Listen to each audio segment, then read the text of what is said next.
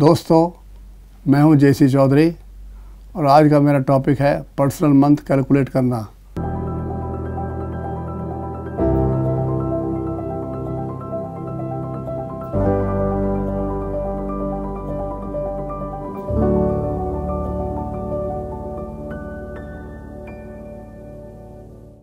कोई भी व्यक्ति अपना पर्सनल मंथ कैलकुलेट कैसे कर सकता है?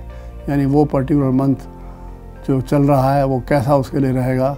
Let us try to understand इसमें एग्जांपल ले लेते हैं. फॉर एग्जांपल एक रमेश चड्ढा नाम का व्यक्ति है जिसका ट्वेंटी सेकेंड नवंबर 1983 को बर्थ हुआ है और वो जानना चाहता है कि जुलाई का महीना 2021 में उसके लिए कैसा रहेगा। तो क्या तरीका है इसके लिए हम फॉलो करेंगे? सबसे पहले उसकी हम डेट को नोट करते हैं दैट इज़ ट्वेंटी सेकेंड फिर मंथ को नोट करते हैं, जो कि नवंबर है। और करंट ईयर जो है उसका सिंगल नंबर किया जाए तो that will come five twenty twenty one को टोटल करोगे तो सब फाइव आ जाएगा।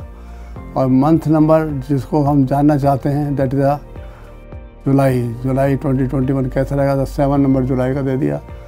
और number of months after is last birthday last birthday कब था इसका? नवंबर ट्वेंटी ट्वेंटी में, नवंबर से लेके और जुलाई तक आठ महीने हो जाते हैं।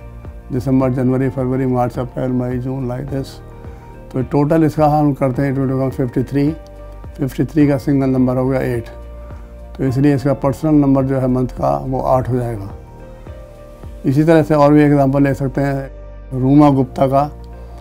रूमा गुप्ता की date of birth third July 1987 है और जानना चाहती है कि अगस्त का महीना कैसा रहेगा 2021 में. तो उसके पहले हम डेट डाल देते हैं तीन है इसके अंदर.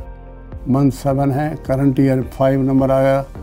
2021 का month number of which we want to find out August और number of month after last birthday that is only one तो इसका टोटल आ जाएगा 24 four means two plus four will be six तो रूमा गुप्ता का पर्सनल मंथ नंबर हो जाएगा six और हर मंथ नंबर के अलग अलग करेक्टरिस्टिक्स होते हैं और हर मंथ नंबर से पता लगता है कि वो महीना उसके लिए कैसा रहेगा।